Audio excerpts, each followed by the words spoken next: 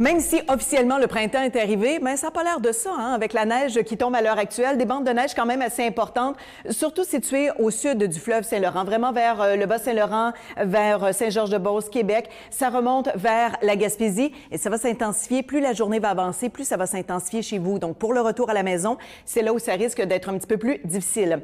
10 à 20 cm de neige, c'est ce que l'on prévoit pour la capitale nationale. Même chose également vers Charlevoix. Donc bonne nouvelle pour les skieurs. Par contre, quand on se déplace vers Jusqu'à 30 cm. Même chose également pour Gaspé. Donc, vraiment euh, de bonnes quantités de neige. Il faut dire que le week-end dernier, il y avait pratiquement plus rien au sol chez vous. Alors là, euh, le décor va complètement changer. C'est difficile sur le réseau routier, sur l'autoroute 20, la, la route 132, même chose également sur la 73. Visibilité réduite, justement en raison des bandes de neige.